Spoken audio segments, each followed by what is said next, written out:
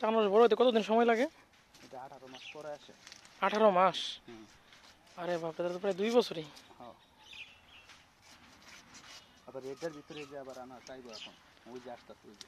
আচ্ছা আচ্ছা। গাছের মধ্যে আনারস ভরিয়ে রয়েছে।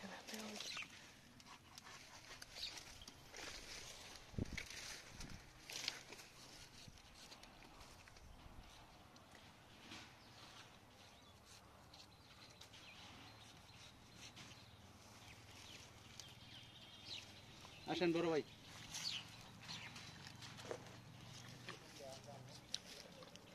ঠিক আছে মিষ্টি? হুম।